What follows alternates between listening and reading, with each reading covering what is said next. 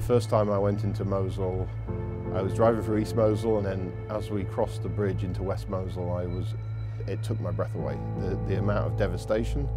I've, I've visited many uh, post-conflict environments, uh, ranging from Afghanistan into the Balkans, throughout Africa, and I, I don't think I've ever seen a, a part of a city that was so pulverized. It, it was very reminiscent of, of images of the Second World War, of, of Stalingrad, of, of Hamburg, Coventry, you know, completely blown apart. Mosul is a, a city in northern Iraq. It lies between um, Erbil and, and the Syrian border. And when ISIS was at the, the peak of its control, um, there were over 2 million people living in Mosul. Um, it was the biggest city under ISIS control as the city was surrounded, they fell back into, into defensive positions. They'd had two years to prepare these, and, and the majority of these were in the old city, so West Mosul, on the banks of the river. And um, these, these buildings had been booby-trapped, they'd been rigged with explosives, they had um, caches of ammunition and weapons for the fighters to use.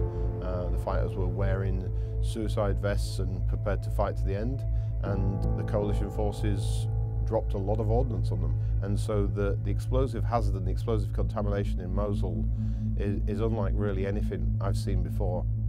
So you would have buildings were collapsed in on, on, on bodies. Some of the buildings had been booby-trapped or, or rigged with explosives to stop people returning home. And then there was the unexploded ordnance from, from just the actual fighting. When you look at that level of devastation, you know, people just can't get back to their homes. They, they're, they're finding it very difficult. You know, the, the fridge might have been booby-trapped, so if you open the fridge door, it goes off, or a light switch gets flicked and there's a bomb waiting for you. On top of the different explosive hazards, um, a lot of the buildings are very unstable. So, you know, if, if when the teams are clearing they were to move the wrong piece of rubble, um, the whole building could collapse on them. So it's just a, a, a really difficult and challenging environment. So people will continue to not be able to return to their homes or rebuild their homes until the explosive hazard has been cleared.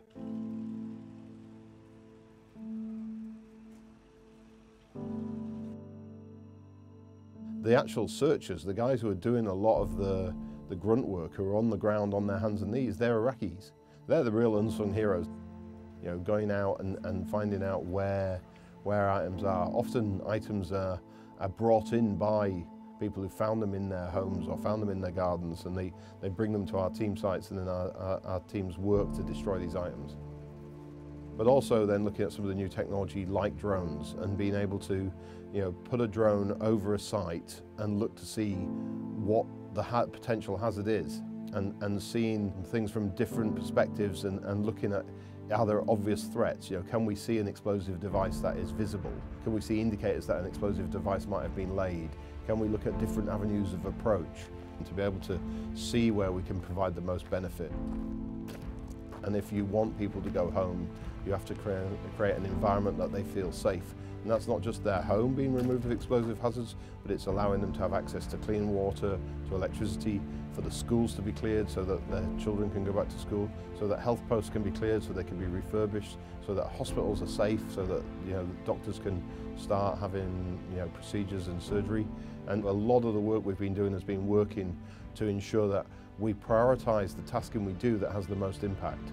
So if we clear a, a water treatment plant that's going to provide 250,000 people a day with clean water, or we clear a bridge so it can be repaired and a thousand vehicles an hour can cross it, you know, what will give the most impact? What will give us real value add to the work we do? And it's incredible when I was in Mosul to see how quickly families would go back into the rubble of West Mosul and relay their foundations and start building their homes again. I mean, it's really incredible to see how proud they are and how they want to get on with their lives. You know, they've gone through a, a terrible conflict um, and they're showing a resilience that is, is very inspirational and we can help them by removing explosive hazards. Then people can feel confident and they can start getting on with their lives.